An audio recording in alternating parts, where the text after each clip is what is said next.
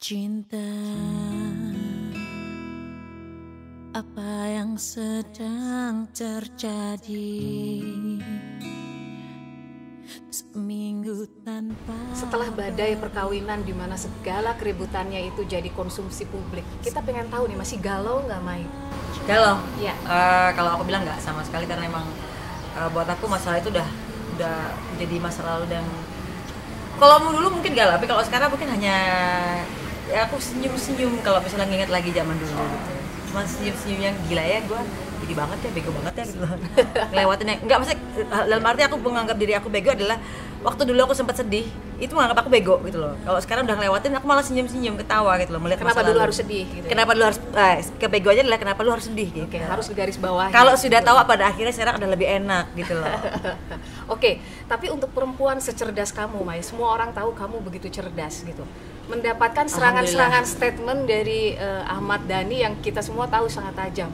Saya yakin pasti Anda jengkel, jengkel sekali gitu. Sejauh apa itu?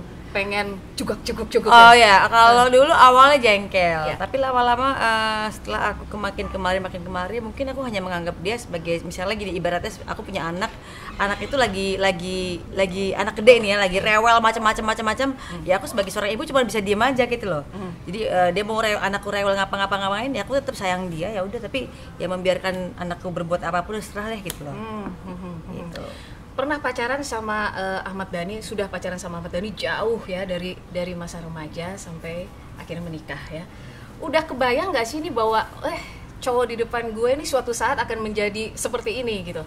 Eh, nggak? sama sekali nggak Oke. sama sekali nggak karena emang eh, khayalan kita berdua waktu itu adalah ketika waktu kita masih pacaran bahkan awal-awal punya anak eh, pertama kedua dan tiga kita pengennya sampai kakek nenek Hmm. pengennya sampai ya maut memisahkan kita berdua lagi Oke, jadi sama sekali nggak pernah kebayang bahwa akan terjadi hal seperti Iya. ini gitu ya. Oke, sekarang komunikasi sama Dani sebagus-bagusnya sampai di taraf apa? Nggak komunikasi Sama sekali. sama sekali Eh, karena eh, kemarin sempat ya aku diputuskan hubungannya dengan dikatakan innalillahi wa inna ilaihi rajiun Maya telah meni- eh, telah putus hubungan dengan seorang Maya gitu ya Oke. ya aku sih nggak apa-apa As- asal asal bukan dari aku yang memusuhi gitu Oke, dalam situasi di mana kesedihan dan kemarahan pasti saya yakin ada gitu. Hal yang paling bisa kamu lakukan apa?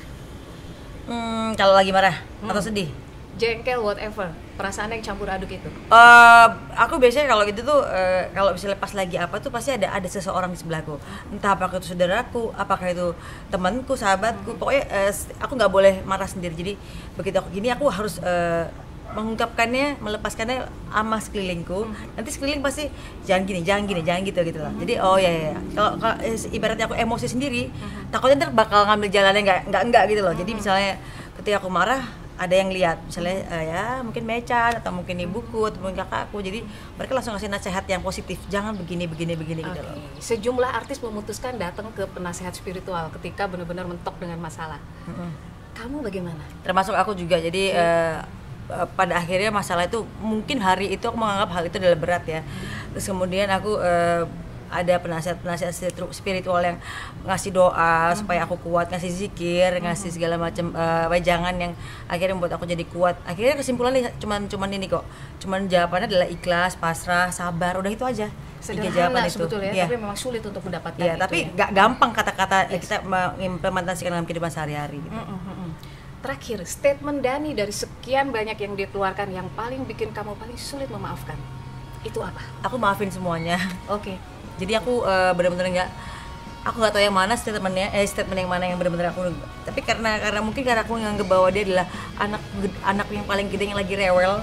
Jadi aku nggak nggak nganggep semua omongannya. Jadi Oke. aku nggak masukin ke hati sama sekali. Seandainya anak yang rewel itu minta maaf dan berubah baik, ya kalau saya sih ibaratnya eh, dia minta maaf saya terima maafnya. Karena se- sebelum dia minta maaf pun saya sudah maafkan kesalahannya. Masih nyimpen foto Dani Dani di rumah ini, biji aja. Nyimpen ya? Enggak kayaknya. ya? enggak kayaknya